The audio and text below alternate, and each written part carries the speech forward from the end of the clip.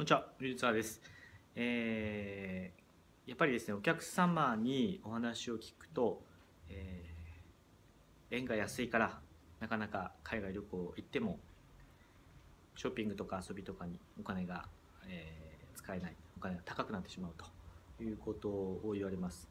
少し円高に触れておりますので、このままあの円高の流れが続けばですね、え、海外旅行にもえー、気軽に行けると思います。海外旅行に行っても、えー、思う存分楽しめるという状態になると思います、えー、ということで今すすめ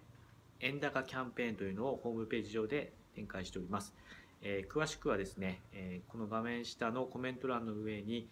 公式ホームページの URL を貼り付けておりますのでそちらをクリックしてご覧ください。お得な旅を載せております。ぜひよろしくお願いします。